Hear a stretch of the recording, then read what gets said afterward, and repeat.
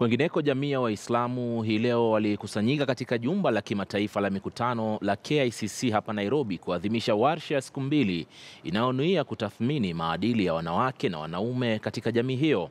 Kwenye warsha hiyo iliongozwa na mashehe mbalimbali wa kimataifa sawa na baadhi ya viongozi wa dini ya Kiislamu humu nchini, Waislamu wametakiwa kufuata kanuni za dini katika kufanikisha utangamano wa kufana na dini zingine nchini.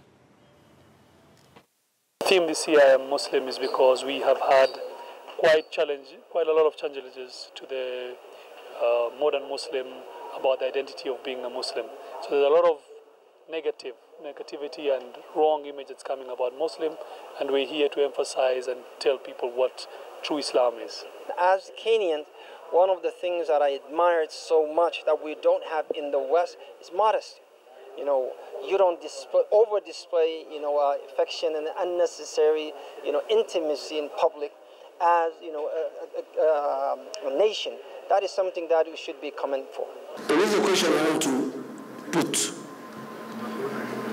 Yes, we have uh, nikah, we have, uh, we could do it in the mosque, we do it somewhere else, but in the evening, our wives, they leave our homes and we give them permission.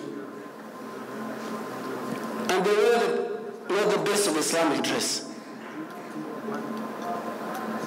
So I think we need to come out very, very clear. So that from today, I can tell my dear wife that you're not going for the next wedding, which might be today, in this kind of dress. Because there's one, there's one tomorrow. So I need to, there's a contradiction. When they're together, there's music. They wear all types of dress. And the only reason they gave us when we asked them, why are you leaving my home? They said, no, no, no. We are only women. And one time, because my brother's son was wedding, I decided uh, here at KICC to come and see what goes on from very far, outside the tent. But the, the musician, the guy who was playing the Somali music, was a man, not a lady. So I think you need to come and tell us clearly so that those of us who sit here can pass the message